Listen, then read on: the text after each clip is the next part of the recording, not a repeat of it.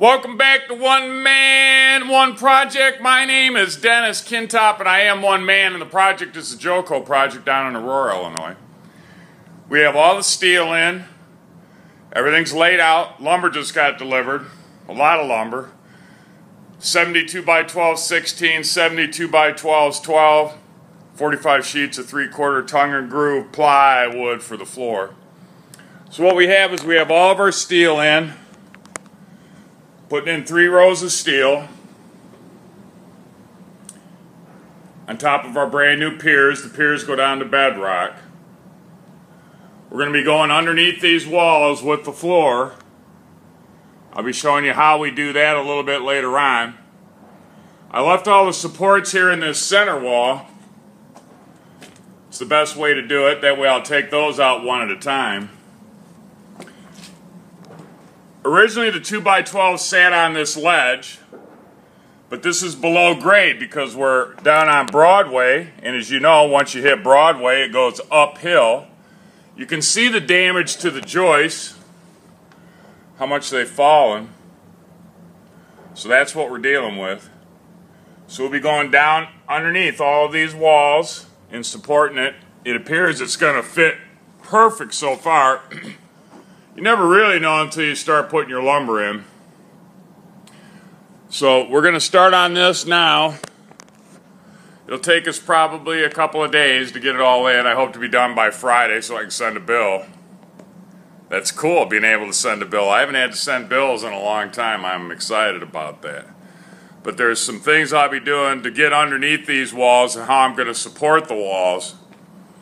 And I'll be showing you that as an individual task as well as when we go under those center walls. These center walls out here, what we'll do is we're going to be taking pieces out and going in one at a time underneath them because I have to take the plate out.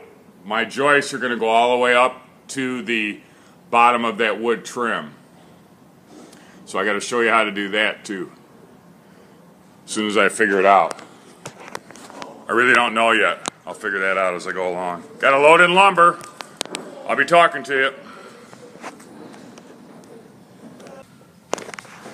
So we've been working. I want to show you the wall that how we're building underneath it. The studs came out with the wall, the, the bottom plate. So I put a new plate on it, and then we took a 2x12 and ripped it from 9.5 at this end to 9 inches on that end. And then we put another joist in. And then we're putting the three quarter plywood right on top of that. We can't necessarily worry about how everything has been built because it isn't correct. And then we're bringing in this one. That'll support that wall. And then I'll be able to tear out that corner. We got a good start. We got the blocking in on the back side. Let me get close to my 30. Now we're getting all these joists in. Looking at the bottom. And then we're putting those joists, Looking at the bottom. we're going right underneath the studs. We had to take the plates off and not put them on in this area. But we still have some blocking to put under there. Currently I'm going to tear that out now. And then we're just going to keep going. Get me close. I'll be able to adjust. Everything is working out just fine. Fitting right underneath the existing walls. It's working out good. Welcome back to One Man, One Project. We got all the floor in, puttied all the walls. Gonna start painting on Monday. But the floor is all done and in, passed all my inspections. So we have paint, carpet on Wednesday. They can start moving back in. So I wanted to show it to you. Everything worked out very nice. It went right underneath the wall out here. Worked absolutely perfect. Nice and neat on the walls in the back. So we have left to take all this oak material, wipe everything down and clean the glass. Didn't break any glass. Got a slight transition over here. The carpet guy is going to have to take and feather that in. Turned in numbers for phase two. This was 1,300 square feet. The next one is 1,664 square feet. So they went in for a, a grant because this is a not-for-profit corporation. So they went in for a grant for it. Hopefully they'll be able to get that and we can continue on to finish the other phase of it. Uh, the job went really well. We started, I think, October 9th. It's October 26th and we're done. I went three hours over, had to come in this morning, put down the last bit of plywood in this room behind me here, so. But it looks good. Very happy with it. It's safe.